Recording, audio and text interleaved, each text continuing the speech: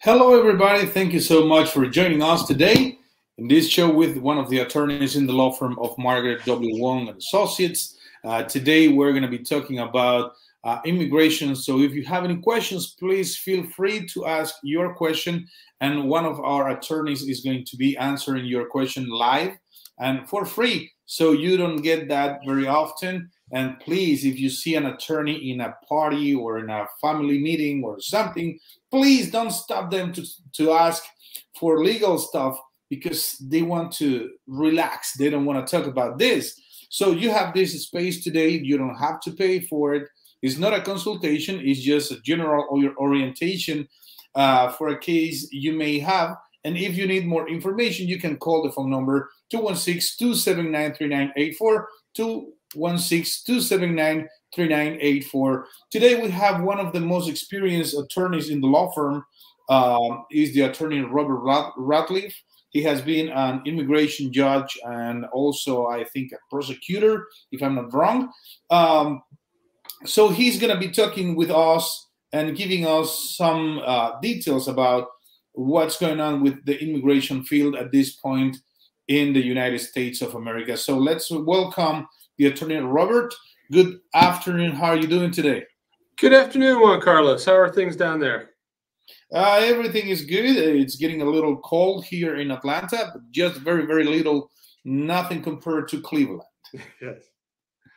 Okay, so I would like to start today uh, talking about what's going on with the deportations, removals, uh, especially for people that have entered the United States in the last two or three years uh, without inspection or maybe surrendered at the border. Um, what happens with them and what happens to the removal orders that they have been given at the moment? Uh, but some of them don't know because they never showed up at the court, or maybe they showed up, they didn't have an attorney because they didn't have the resources to hire an attorney, and now they have a removal order. What's going to happen with them, especially with this order from the uh, federal court in the uh, 10th circuit? Yeah, well, you know, it's an interesting question, and, and a lot of people get to the removal order in a lot of different ways. Uh, but the short answer is, is once you have that removal order, and what the 10th Circuit decision talked about was how long you have to depart the United States after that removal order. But once you have that removal order in place, you do have to leave the United States unless you have an appeal pending. And if that removal order is final and you have not left the United States, there's there's a couple of things. One, you could be subject to being uh, arrested and detained by ICE, and I, ICE uh, in the current last couple of years has not been uh, aggressive in enforcing those removal orders. We've seen other administrations in the past that have been more aggressive in doing that. Uh, but if ICE wants to enforce that removal order, they can pick you up they can place you in detention and keep you in detention until they uh, get you removed from the United States. And that can be a prolonged period of time. Uh, you cannot even ask for release from ICE custody uh, in that situation until you've been detained for 180 days uh, under the current law. So that, that can be a problem for you if you've got that removal order. Now, if you do have that removal order, there are some things that you can still think about depending on how you got to that removal order. As you mentioned, the people that had uh, what we call in absentia orders, those are orders that are entered by the court because you didn't show up. Based on why you didn't show up, or even just the fact that you didn't show up because you know you were scared, you may be able to ask the court to reopen your case and give you a chance to ask for relief in the form of asylum or any other forms of relief you may be entitled to. And and it's a very liberal process. It's a process that has uh, uh, a lot of variety to it. That the judges have a lot of leeway in granting those kind of requests, and uh, it's it's very doable. So if you do have that in absentia order, you definitely need to to be aware that it, your your your case isn't over. It can still be reopened, and you just need to consult with somebody to to start that process. Okay, so um, for example, for Venezuelan people, we because and I am kind of embarrassed for what some Venezuelan people are doing right now in uh, states like New York, uh, Massachusetts, um, Columbia District. They are doing a lot of mess, but mm, I'm not. Uh, I'm not gonna defend some kind of Venezuelans, um, but over uh, 50,000 people or over 100,000 people have entered the United States in the last two years. Mm-hmm. Uh, and I'm talking about Venezuelans. So, what, what happens if they are uh, in the United States? They have a removal order already. And now we have the TPS for people that enter in the United States before July the 31st this year can they still apply for TPS? Yeah, the short answer is yes. You can still apply for TPS, and how that's going to play out for you maybe maybe in a couple of different ways.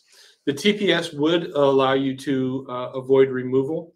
Even if you have that final removal order, you may be eligible to apply for uh, TPS and stay any removal order, which basically means uh, stop it from being enforced. You also may be in a position where you can go back to court and ask the court to reopen your removal order, whether it was in absentia or maybe you just, you know, you had an asylum case and, and you lost. Um, so the court can reconsider that based on the fact that the TPS program has now been extended with new dates, uh, new registration periods. So that's something that the court didn't have in front of it when your case was originally decided. So that may may provide a basis for you to go back to court and say, hey, can you reconsider my case in light of this new evidence? Okay, so uh, well, this is a very interesting question, but they definitely uh, the short answer was yes, they can apply for the TPS. Mm-hmm. So if you need more information or if you want to apply or see if you qualify for this new TPS, you can call the phone number 216 279 3984 216 279 3984. We have an employed employment based question I have an H-1B and my employer filed for I-140. Uh, but what would happen if I lose my job? Well, it kind of depends on why you lost your job. If if you lost your job because the employer fired you for, you know, some nefarious reason, uh, it, it that may impact the I-140 and it may terminate it if you lost your job because of layoffs or uh, because of other some other economic reason with the company, you may be able to transfer that uh, application to another employer. So it's it's going to just really depend on your specific circumstances, and I would I would definitely think you should uh, consult with an experienced employment-based attorney to look at that. Oftentimes the what, what, people don't understand is when an employer does file an i-140 on your behalf the attorney that's helping the employer do that that attorney's job is to represent the employer not necessarily the employee so uh, you want to get your own attorney that can look at the situation and tell you what you can do and maybe help you navigate a process to get either a different employer or a different uh, type of sponsorship in the united states Okay, thank you so much. And uh, well, Roshan, if you want more information, you can call the office. The phone number is 216 279 3984. 216 279 3984. We have another question that says Are there changes in the 10 in the 10 year law? I think they are talking about the 10 year cancellation. Well, two there's two things there that they could be talking about. One is the 10-year cancellation, and that's a program that if you've been in the United States for at least 10 years, if you have qualifying US citizen or permanent resident relatives, children or parents or a spouse, and you can establish that it would be an exceptional or extremely unusual hardship to those qualifying relatives, you may have a path to uh, obtaining permanent residency. The other 10 year law is something that's a little bit more uh, uh, harsh on people. That 10 year law is that if you have been in the United States without status for more than a year, if you came uh, on any kind of a tourist visa, if you came with any kind of a, uh, visa, even if you came without any kind of a, a entry document, and you leave after you've stayed in the United States for more than a year, you face a 10 year ban on reentry into the United States. So there has been no changes to that. That law has been in place for 20 odd years now, um, and that's that's still in play. So if you've been here for more than a year without status and you leave, you uh, you face that 10 year ban on reentry. There are some waivers to it, but they're very very limited.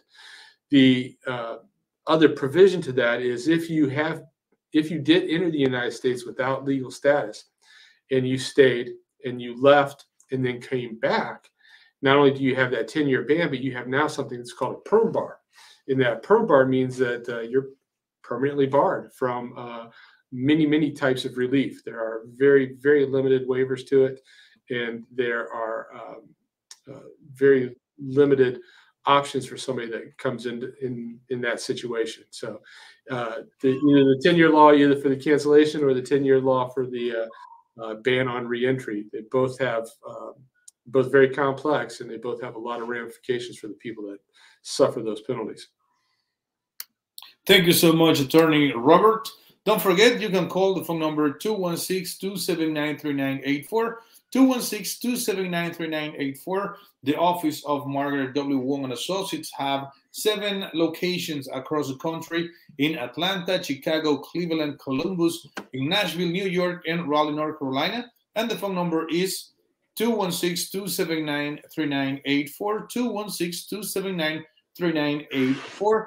Uh, that's the phone number you can call. You can make your appointment, and then the attorney Margaret W. Wong will see you in one of the locations or other attorney in the law firm will take care of your uh, concerns and your questions. Um, let's go ahead and uh, read the next question.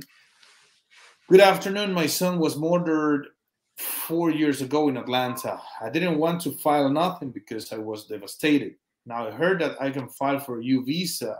What are the requirements and can I still apply after four years?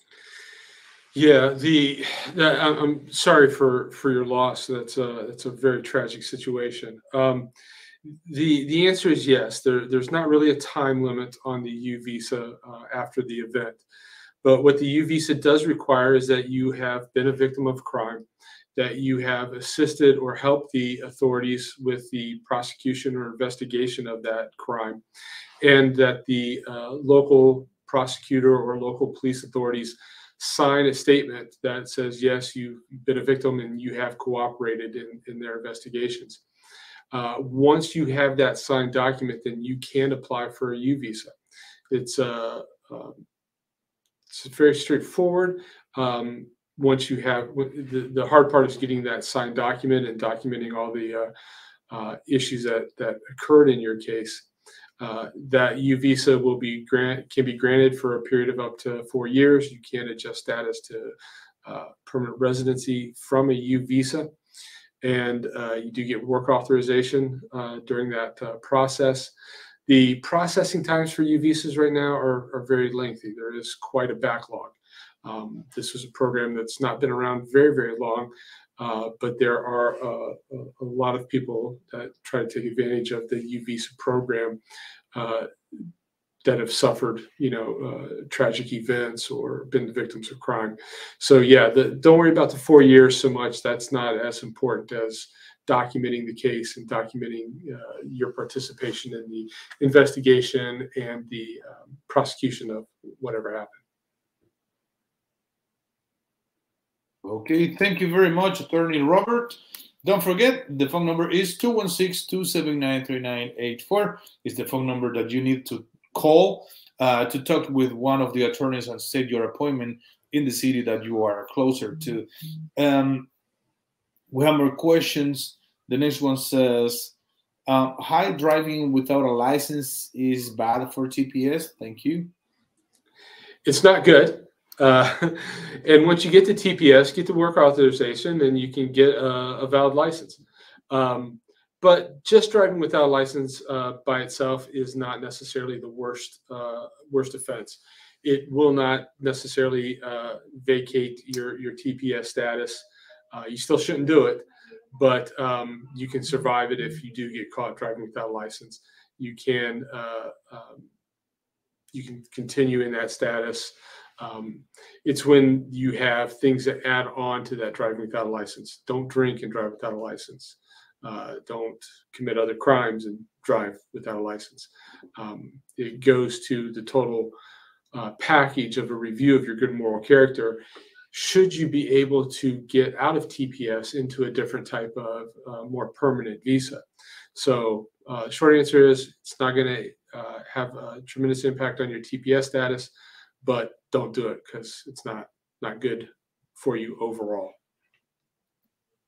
Okay, thank you very much. And uh, well, don't forget the phone number is 216-279-3984. Uh, the attorneys in the office have a lot of experience. As you have noticed, the attorney Margaret W. Wong uh, has been working for over 46 years in the immigration field. And the attorney Robert uh, we are talking with today, he has been an immigration judge, but also has a lot of experience. I don't know how many years, but I know it's uh, over 20 and maybe over 30. Um, I'm not sure, uh, but he has been there for uh, some some good time. Uh, we need to learn a lot from him, and the experience of working as an immigration judge. Um, is, is there a case that you may remember as a particular thing, or or you saw so many cases that they look all the same for you? Well, you know, it's it, it's an interesting experience being an immigration judge, and uh, um, I worked in a detained docket, so we've seen a lot of people that were detained and uh, and had to go through their cases that way. So you know, a lot of people that are trying to seek bond, and a lot of people that uh, were trying to present their case in a uh, pro se status, which means basically they they did it on them on, on their own. Um, the one thing you do learn very very quickly is that if you are in immigration proceedings and you are trying to do it on your own it's difficult it's going to be very very difficult for you. It's difficult to gather the documents you need. It's difficult to gather the proof that you need to support your case. It's difficult to even know what you should be telling the judge um, to, to help support your case. And you know in the in the in the detained docket situation immigration judges see a lot of people that just they don't have attorneys. They, they either can't afford attorneys or they don't know attorneys in the united states or they may not have family that can help them with attorneys. Uh, and and that does not work out well um, so if you are if you do find yourself in immigration proceedings it's in your best interest to be represented certainly yes and uh, some attorneys in the past did those like verbatim, verbatim or verbatim um, asylum applications, and mm. the the purpose was to put people in removal proceedings and then fight for the cancellation of removal. And many people got in trouble just because of that, because they didn't have a good attorney.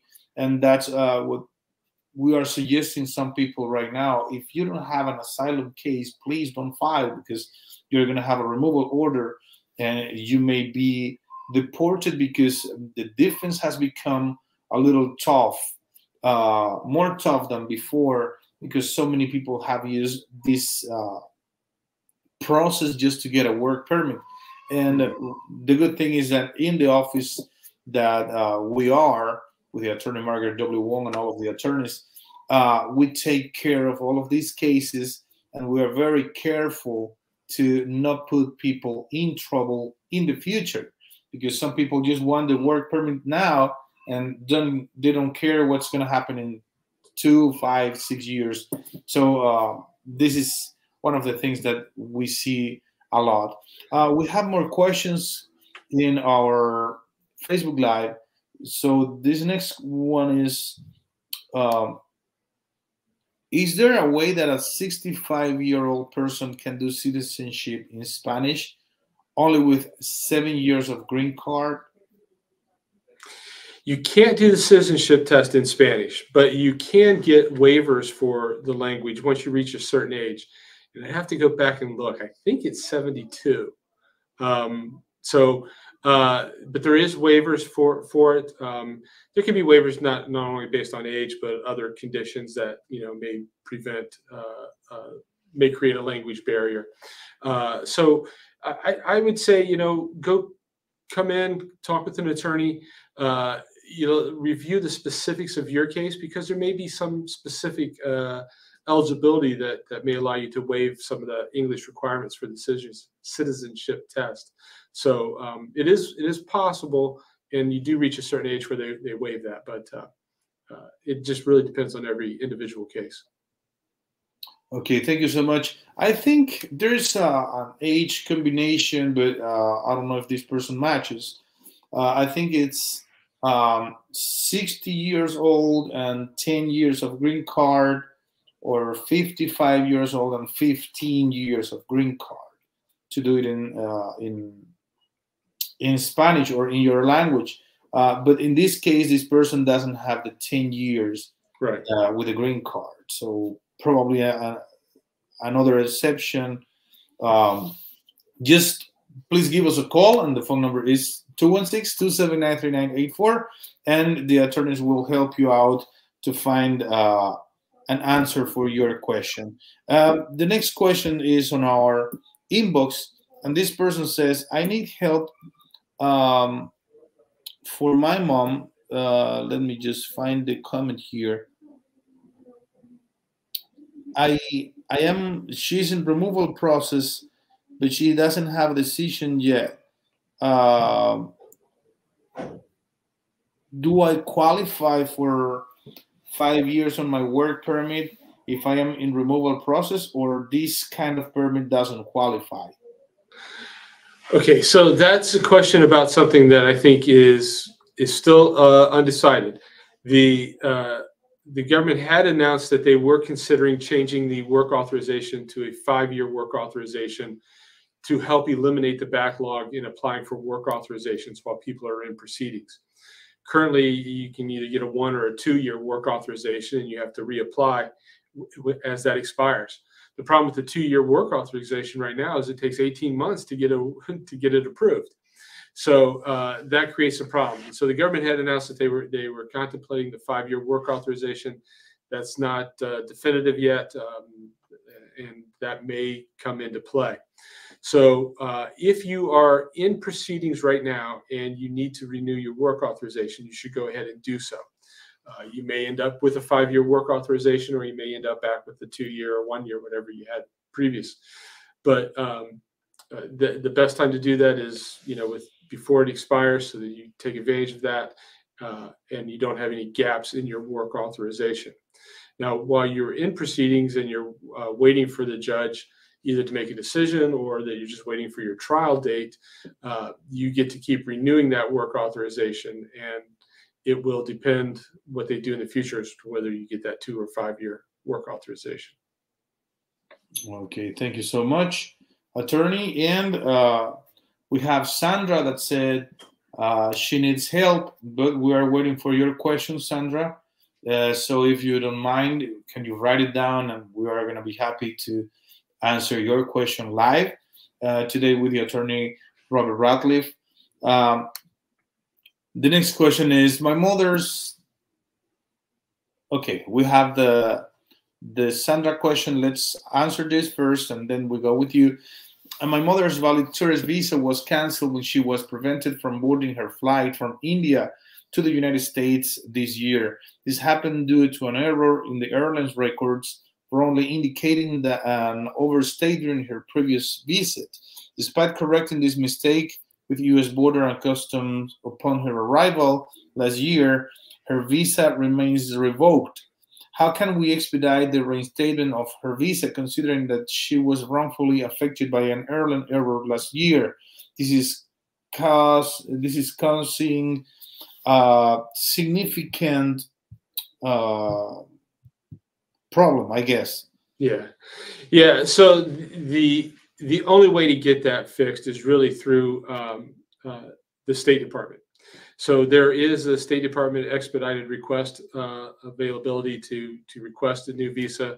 You can show them that you know what what the errors were. They can review the uh, process. So so there is a, a, process to do that. If she is currently in India, she could do that uh, by making an appointment at uh, at the nearest embassy. Uh, that might be the best way to do it. So you can talk to a person in play in in face to face but there is also a, an expedited request that you can make through the U.S. State Department for those visas. Okay, thank you so much. And yeah, the last part of the question is uh, this has caused uh, significant inconvenience and distress, especially considering her physical challenges as a wheelchair user. Mm-hmm. Uh, your advice is greatly appreciated. Yeah, yeah, and and I would just go through that State Department process. That that's going to be your best way to to get that visa as quickly as possible. Okay, thank you so much. And don't forget, you can call the phone number 216 279 3984.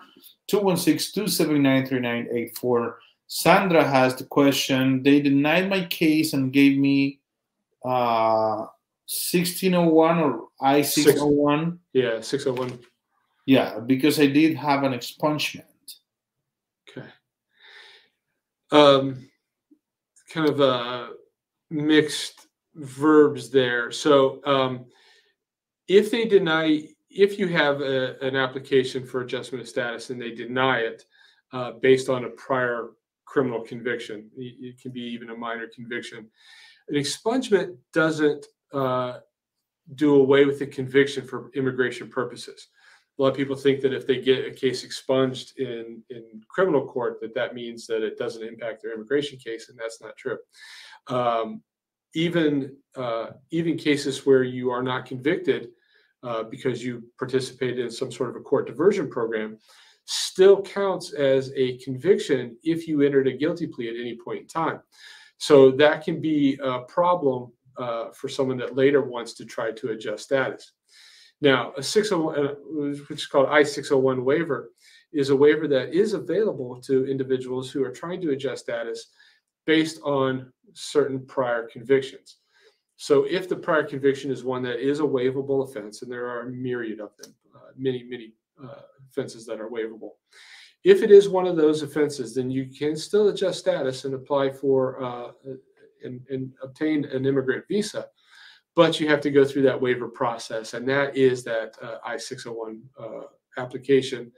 Um, and you just need all your records from the criminal court. Now, what complicates these I-601 uh, applications is a lot of times people get expungements, and it may be an expungement from five or 10 years ago. And when they get that expungement, the local court where the expungement occurred just destroys the files because they, for their perspective, the criminal case is expunged, it's done with, and they destroy everything. So now you're in immigration proceedings and you're trying to show what was the type of conviction I received, uh, that it wasn't something that should be disqualifying, that it wasn't uh, as serious as immigration court alleges.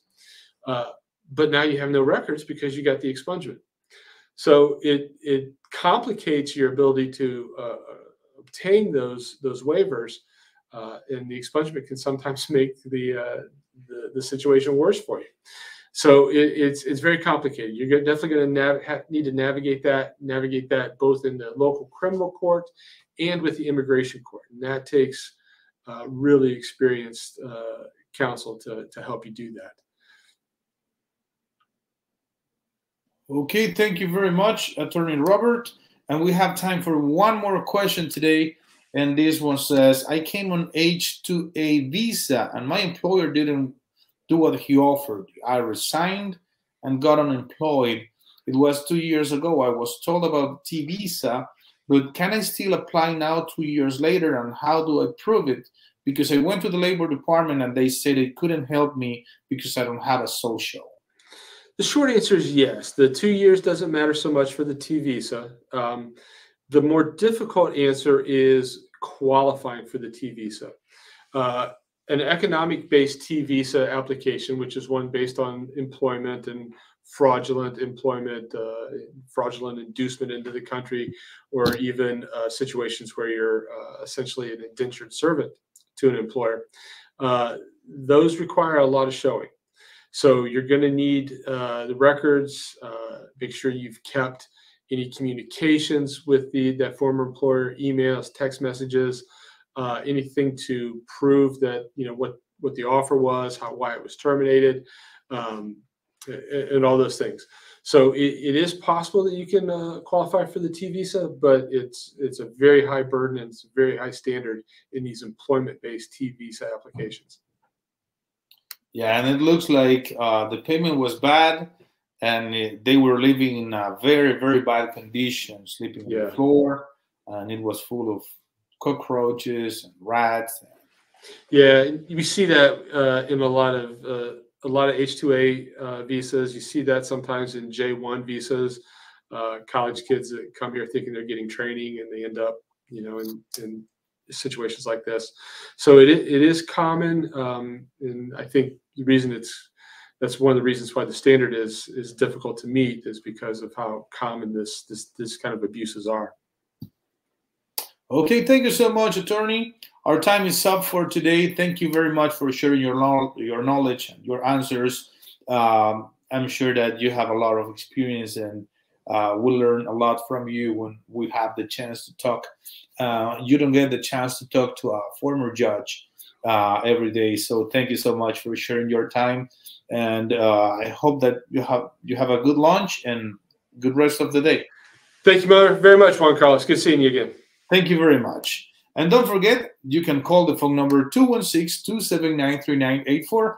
216-279-3984 is the office of Margaret W. Wong and Associates with over 46 years of experience, plus the experience that all the attorneys uh, add to the law firm, like the attorney Robert Ratcliffe, uh, with a lot of experience, not only as an attorney, but also as an immigration judge. And you can talk to them. You can just call the phone number 216 279-3984 and there are some processes that you cannot do if you don't have an attorney or you need an attorney you may attend to a court hearing without an attorney but that's going to be a big problem and maybe you you will not have the words to defend yourself so you need a good attorney to represent you in court especially in some cases that are more complicated you need a good attorney and you can find it in the law firm of margaret w wong the phone number is 216 279 3984 216 279 3984. Have a good day. Thank you so much for joining us today in the law firm of Margaret W. Wong Associates.